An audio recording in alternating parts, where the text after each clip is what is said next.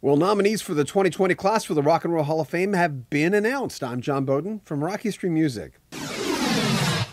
Well, first of all, do you do what I do? I have a list every year of who I want to be nominated, who, who I think will be nominated. And you know, in life, sometimes we get mixed up with what we want to happen and what actually is happening. Here's the nominees for the class of 2020 Notorious B.I.G., Whitney Houston, Pat Benatar, Dave Matthews Band, Depeche Mode, The Doobie Brothers, At Last, Judas Priest, Kraftwerk, MC5, Motorhead, Nine Inch Nails, Rufus featuring Chaka Khan, Todd Rundgren, Soundgarden, T Rex, and Thin Lizzy. The top votes will be announced in January and the induction May 2nd at the Hall of Fame in Cleveland. To be eligible, a performer's first album has to be released in 1994 or earlier. It also got a large number of first time nominees, including Dave Matthews Band, the Doobie Brothers, Motorhead, Notorious B.I.G., Pat Benatar, Soundgarden, T Rex, Thin Lizzy, and Whitney Houston. Returning nominees include Kraftwerk, who've been up there for six times. MC5 have five nominations. The fourth visit for Rufus featuring Chaka Khan. Third for Nine Inch Nails and Depeche Mode.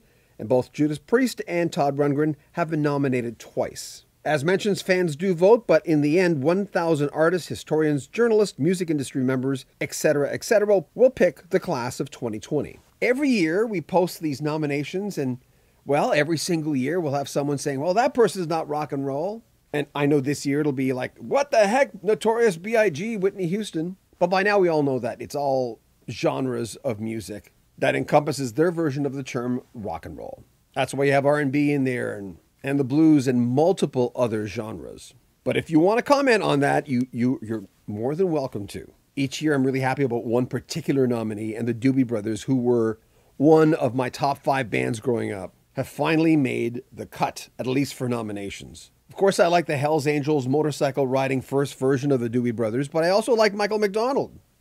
Not as much, but starting with their second Toulouse Street, huge album for me. What were once vices are now habits. The Captain and Me, Stampede, Taking It to the Streets. Those are the albums I rock to, dealing with teenage angst in the mid 70s, and the albums that inspired me when we all had those down days as a teenager. It's rare when you have a band that have two lead singers that are quite different in a lot of ways. Pat Simmons was the guy with the acoustic stuff and could also rock those little acoustic ditties in between those rockin' songs on the Doobie Brothers albums. Like an interlude of some type, and somehow it all worked together. It even worked when Michael McDonald was in the band.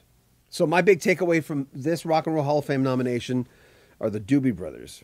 I still want to see Toto in nominations, but they will come. It will happen. Anyone who doesn't think that certain their favorite band isn't going to get in, if they've made a mark in the history of rock and roll, it'll happen. The Rock and Roll Hall of Fame paces themselves. I say this every single year. There's no way you were going to get every single huge band, for instance, in the nominations for the first year. Who'd be left?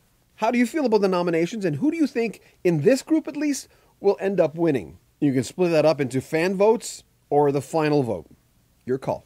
Make sure you comment on our video, subscribe to our channel, and share our videos. I'm John Beaudin from Rock History Music.